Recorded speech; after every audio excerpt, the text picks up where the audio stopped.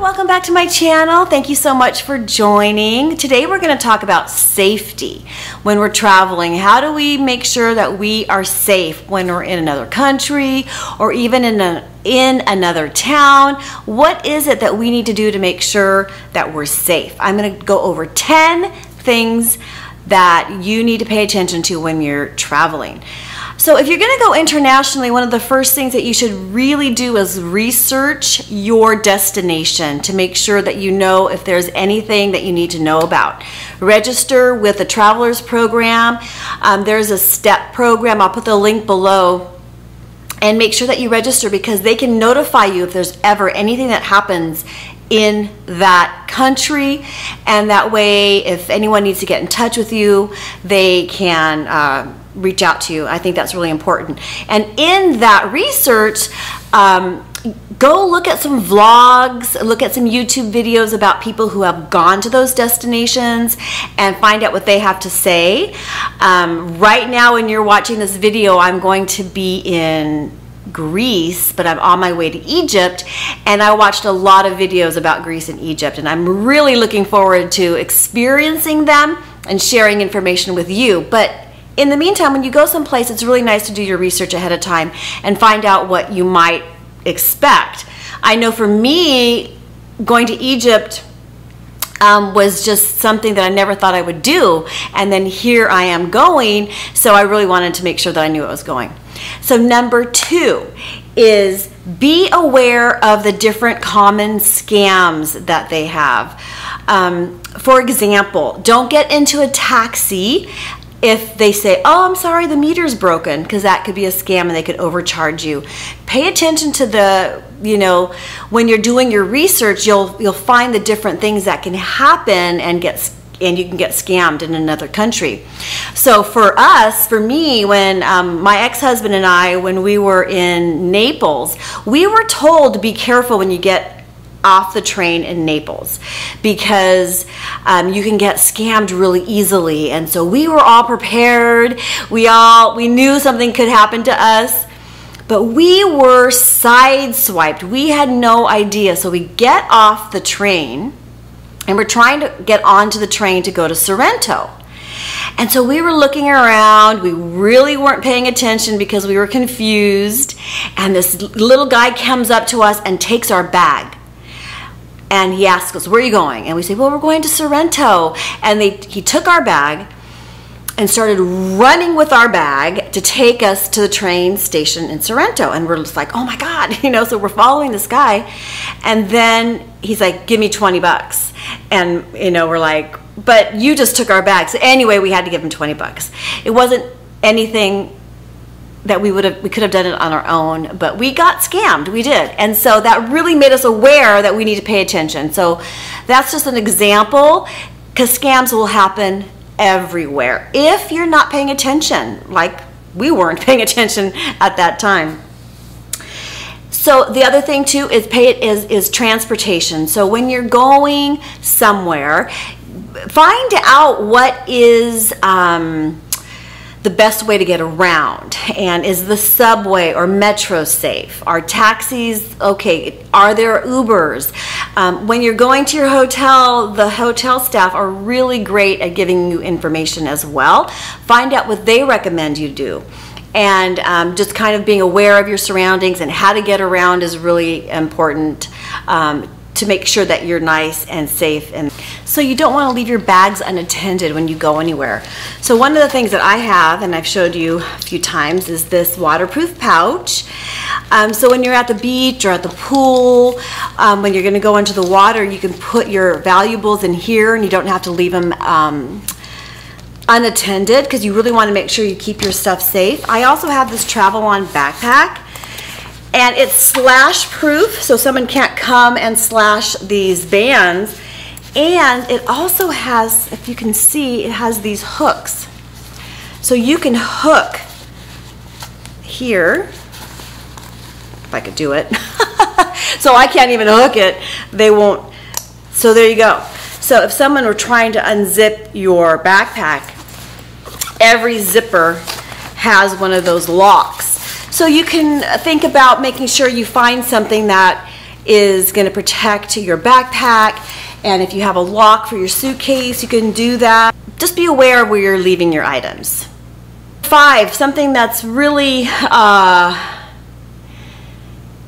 you don't want to walk around looking lost. You want to make sure that if you're lost, that you go into a restaurant or you go somewhere where you can gather your senses, look at your map, figure it out.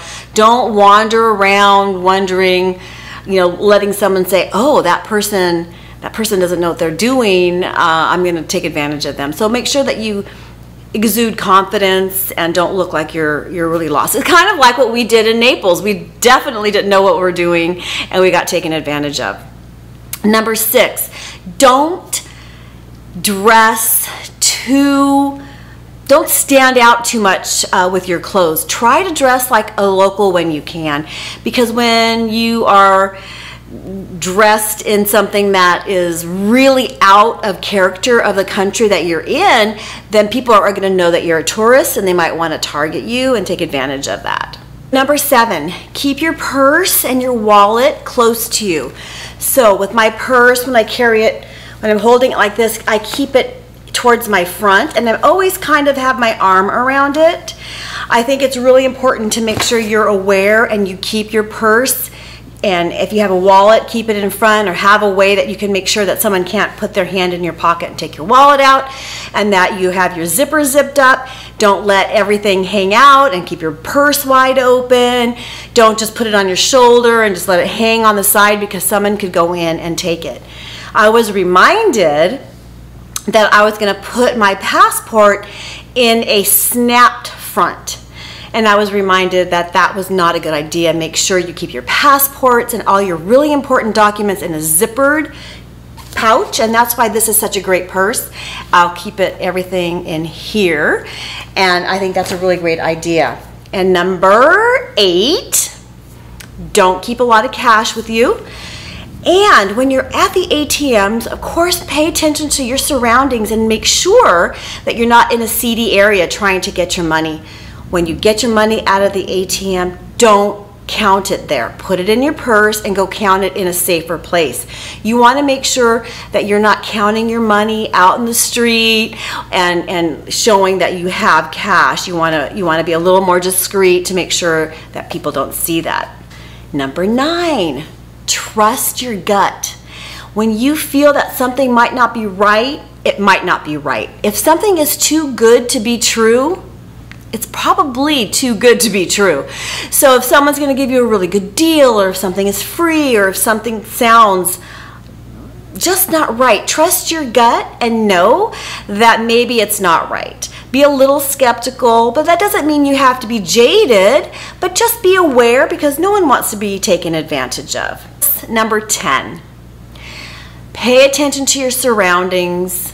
Walk with confidence Make sure that you, I think I've said this earlier, but make sure you don't look like you're lost. Um, ask the locals, ask the hotel um, for any tips and just circling it back around to do your research and make sure you know something of the place that you're going. It doesn't mean you have to spend hours and hours and hours studying it because you can ask people when you're there, but also be aware of who you ask because for example, if you say if you ask a taxi driver, is it safe to go XYZ and they say, "Oh no, no, no, you need to take a taxi." You need maybe that's not the best source. But talk to your hotel people, talk to the local people that you might meet in a coffee shop, and um, and then just have fun.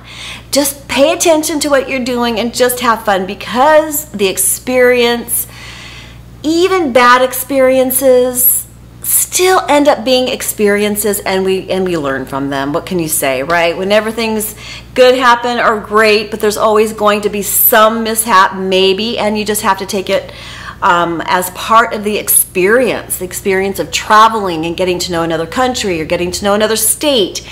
It's just really fun. So, um, oh, one last thing that I wanted to say is Travel insurance is something that you should really consider when you're going to another country and make sure you have the medical part to it. And while it might cost you a couple hundred dollars more, if anything should happen, then you're protected. And I know when for this trip that I'm taking, I got travel insurance because I just wanted to make sure if I got sick or if anything should happen, thinking about how COVID has entered our lives and it changed the way we think of things. So I don't want to get I don't want to get stuck. I want to have the insurance. And for my little puppy who's there sleeping, he was so sick and I did not have pet insurance. Uh, I kept thinking, like, God, I should get pet insurance, I never did. And anyway, he ended up being sick, very sick. So I pray for him, and I hope you pray for him too to make sure that he recovers fully. And thank you so much for watching. I'm really glad you're here. If you like this video, if you feel that this video has any value at all, I would love a thumbs up, a like. It would really help grow this channel. And um, thank you for coming. Thank you for stopping by. Appreciate it. Have a great day and ciao for now.